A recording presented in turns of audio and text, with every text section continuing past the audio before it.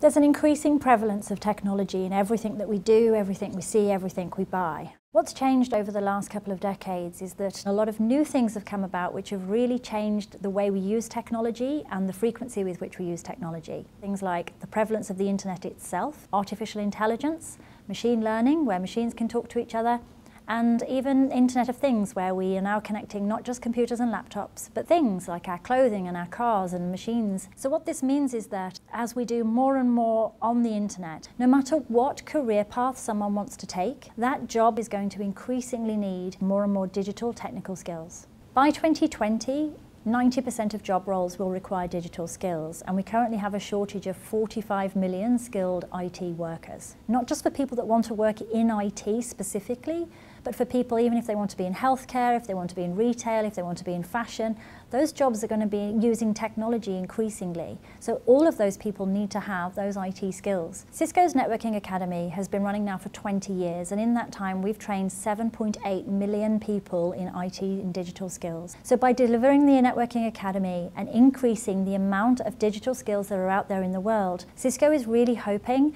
to improve and increase the amount of innovation and technology development that occurs to all of our benefits.